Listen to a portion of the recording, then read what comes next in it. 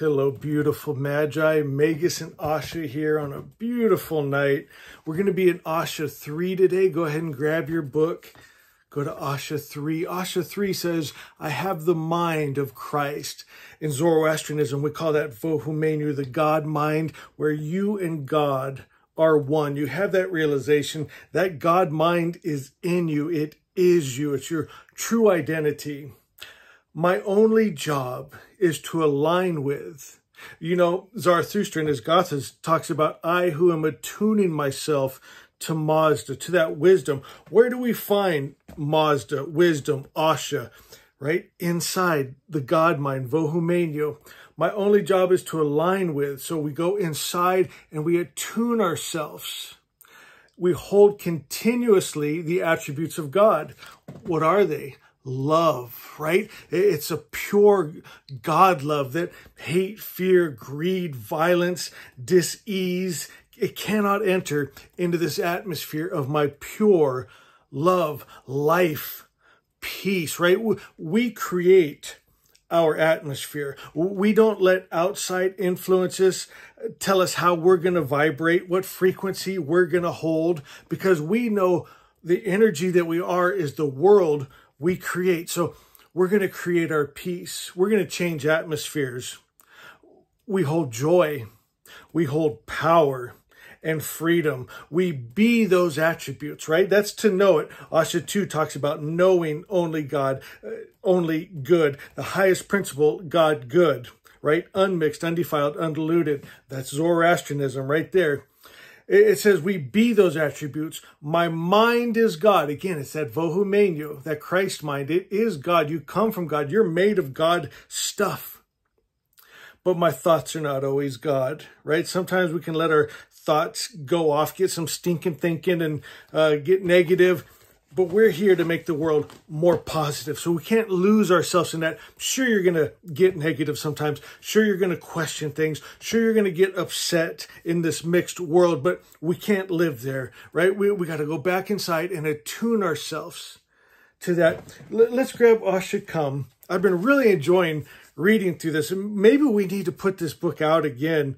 You know, it's, it's out of print, but it's so good. Listen to this love. What were we talking about? We want to hold the attributes of God. The first one was love. It says love is an unstoppable force.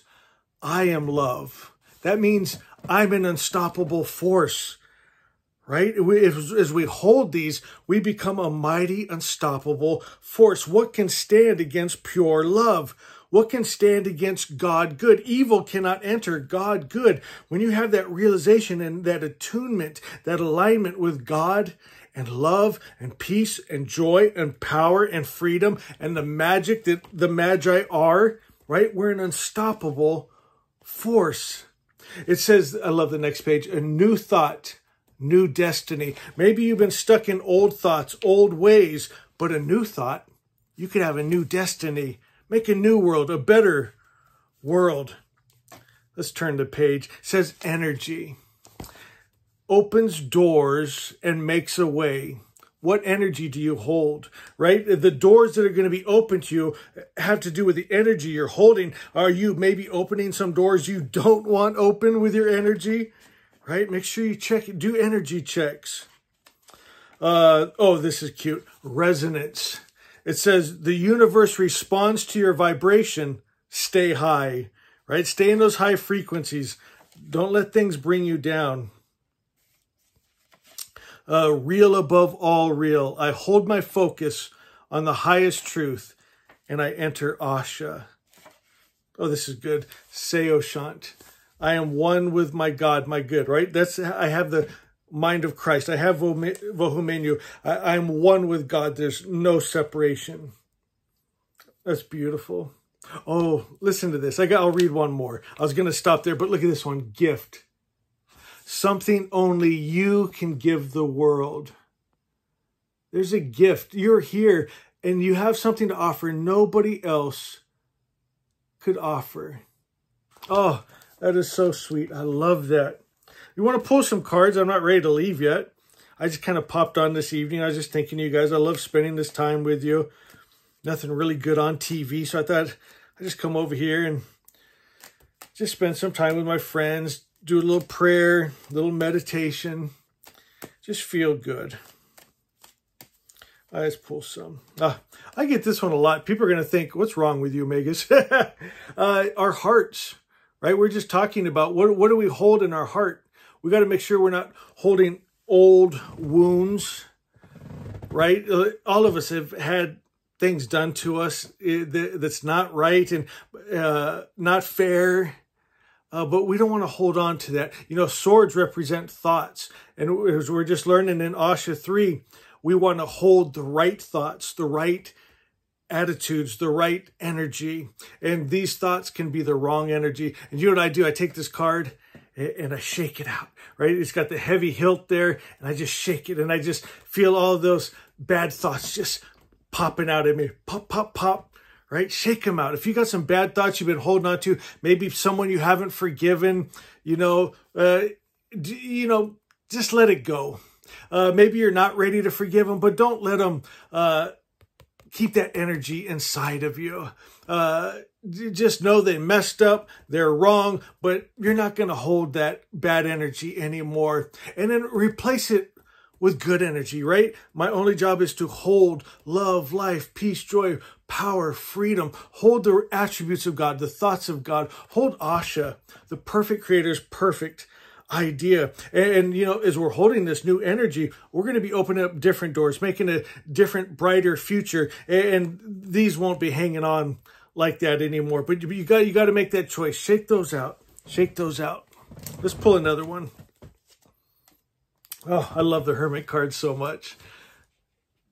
This is about going inside. And we're talking about this Vohu Manah, the Christ mind. Uh, you got to go inside. There's a light inside of you, that divine spark, that Fravashi, that Christ mind, that Vohu Manah, that we're going to tune ourselves to. We're not going to let the outside world influence our frequency and our vibration. We're going to go inside. I always like to look at the bottom of the deck. Let's just see. Oh, I love that. Eight of Cups. I just love that. It's so adventurous, right? You got the sun and moon, kind of like an eclipse thing going. You got this guy wandering. He's leaving his cups and he's heading off and looks like he's maybe along some tidal pools, which I love, and then kind of a little mountain feel. I don't know. I just, I love the feel and look of that card. You know, um, a lot of people notice that he's leaving standing cups. This could be things that people in the world think are so important. Could be riches, you know, beautiful girlfriend, you know, uh, just material things, uh, things that seem so important, fame maybe. And uh, he's just like, you know, I've had enough of this. And he, he's going off uh, seeking. Now, of course, as he's going off, well, where's he going? Of course, the, the sun and moon eclipse, it's intuition. I take that as he's going inside. The, the adventure he's taking, uh, a lot like the hermit there, but they both got their walking sticks and their cloaks, and uh, but he's going inside, right? Kind of leaving the material and go he's hiking to the spiritual. Same as this this is going to the spiritual going from the outside to the inside from the material to the spiritual. Oh that was fun.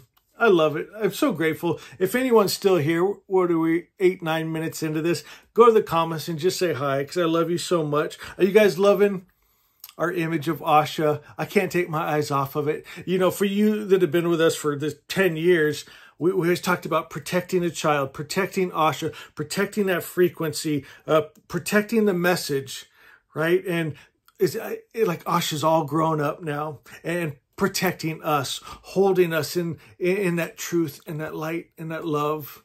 So beautiful. Thank every one of you beautiful magi that that love Asha, that hold Asha, that, that preach that highest truth, that God that is just good. And if there's someone new here, three things we teach here at the Order of the Magi. Restore God's image. He's been misrepresented as getting angry, jealous, hate war, killing men, men, women, children, horrible stories, right? In, in so-called holy books, good books, not good stories, my friends. God's been misrepresented. In the original religion, God was just good, unmixed, undefiled, undiluted, just love without the hate, peace without the war, just the highest principle of good. And if we'll restore his image and take that God, that spirit, that idea into us, and, we be it. We become one with it. We where there's no separation. You and that God good are one. You might have to let go maybe one of the gods you are given uh, that are mixed energy and not very nice and warring and hateful and stone your children and